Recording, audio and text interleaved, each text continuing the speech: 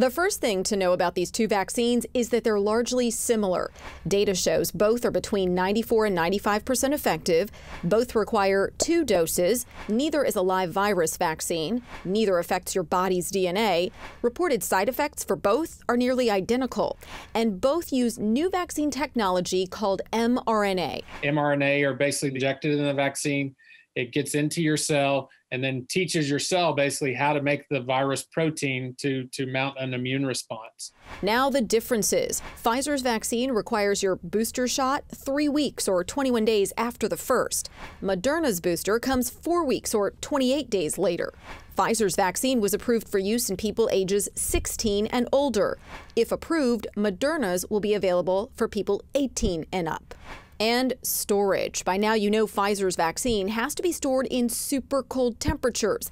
Moderna's is a little different.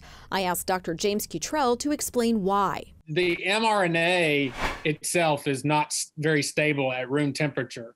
Uh, once you take it and put it in the refrigerator, the, vac- the Pfizer vaccine's only stable for about five days. The Moderna vaccine, on the other hand, from the data that we have from the company, appears to be stable at refrigerator temperature for about 30 days. There's something about the Moderna vaccine, most likely the way the lipid nanoparticle is created, that allows it to be a little bit more stable for a longer period of time.